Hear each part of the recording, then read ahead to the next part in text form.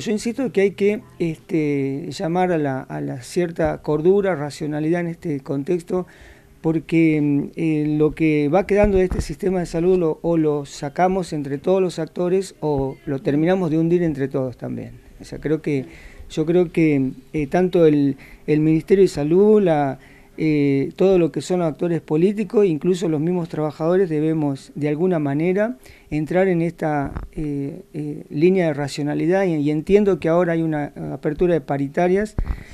Creo que es lo que se estaba buscando, se inicia este, hoy con educación, el jueves nos, nos toca salud y creo que ese es el objetivo, lograr ese tipo de acuerdo y beneficio en, el marco paritario para eh, los trabajadores de la base. Pero eso se logra con diálogo, con consenso y sentados en una mesa de discusión. De otra manera, no veo la posibilidad de salir de esta coyuntura este, dura, triste, lamentable para el sector salud. Bien.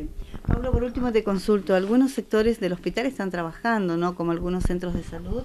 Pregunto esto porque la gente muchas veces nos manda los mensajitos haciendo esta... esta... Sí, no, mira, yo lo que te puedo decir, este, puesto que estuve hoy eh, desde temprano en el hospital, eh, tuve una reunión con el, con el doctor Muño, el hospital está funcionando normalmente, te diría en un 80%. De hecho, hay dos ventanillas que están dando turnos, eh, los profesionales están trabajando.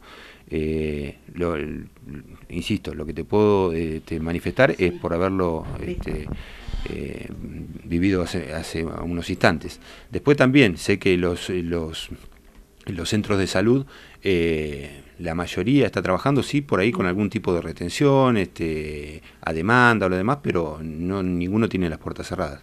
Como así también los hospitales rurales de la, de la provincia. Que, que en esto, insisto, eh, hoy por hoy, si se está sosteniendo esto, son por, este, por estos actores, ¿no es cierto? Los, directores de los hospitales, los profesionales del, del, ámbito rural, la, la, dirección y los profesionales de acá del hospital de Esquel, que sí, este, que sí entienden esto que manifestaba Jorge, que esto, eh, a ver, estamos hablando de salud pública. Y o lo sacamos todos adelante, como decía, o esto se, se cae todo. Y muchas veces eh, lo que cuando llamábamos a la eh, racionalidad de, la gente que toma este, este tipo de, actitudes ¿no? está midiendo consecuencias, no está midiendo consecuencias sanitarias.